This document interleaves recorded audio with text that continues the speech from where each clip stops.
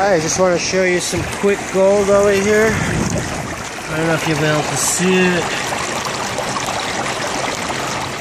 It's right up there underneath all that black sand.